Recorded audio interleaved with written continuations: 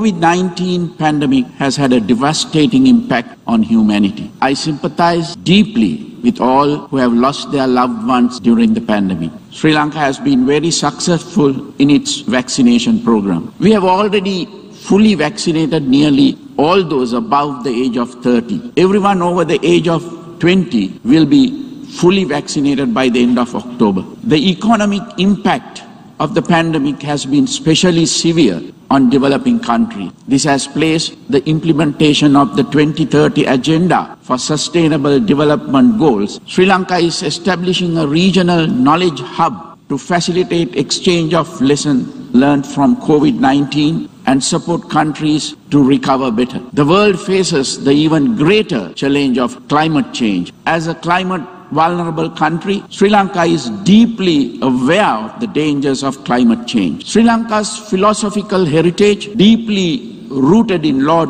Buddha's teachings, sustainability is a cornerstone of Sri Lanka's national policy framework because of its impact on soil fertility, biodiversity, waterways and health. My government completely banned the use of chemical fertilizers, pesticides and weedicides earlier this year.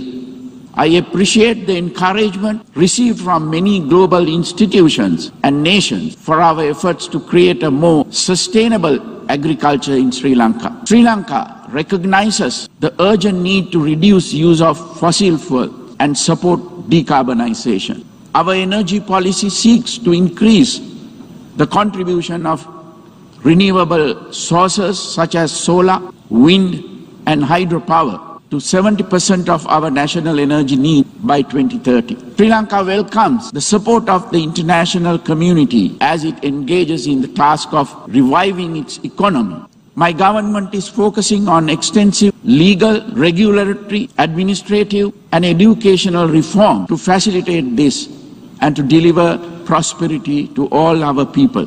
Sri Lanka experienced the devastation wrought by extremists, religious terrorists in the Easter Sunday attack. Until 2009, it had suffered from a separatist terrorist war for 30 years. Terrorism is a global challenge that requires international cooperation, especially on matters such as intelligence sharing, if it is to be overcome.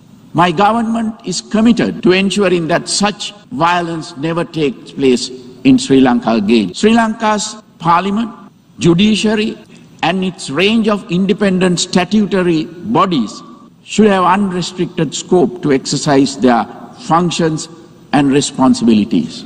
It is my government's firm intention to build a prosperous, stable and secure future for all Sri Lankans, regardless of ethnicity, religion or gender. I request the United Nations and the international community to ensure the protection of the Buddhist heritage of Afghanistan. It is the role of the United Nations to facilitate this by treating all sovereign states, irrespective of size or strength, equitably and with due respect for their institutions and their heritage.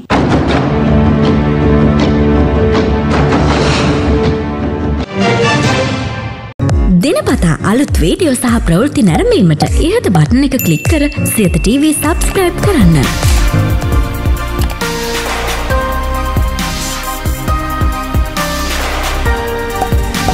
Video ගැන මුලින්ම දැනගන්න මෙම සීනුව click කරන්න.